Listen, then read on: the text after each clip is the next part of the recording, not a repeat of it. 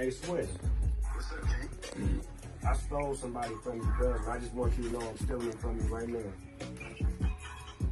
Za, za, za, za. Nigga,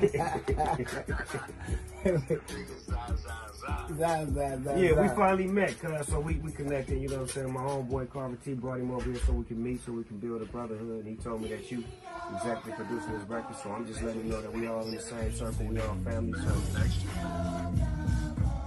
I gotta let him see the room that DMX did his album, and DMX did his album in that room over there. Yeah, the room next door, the better shit.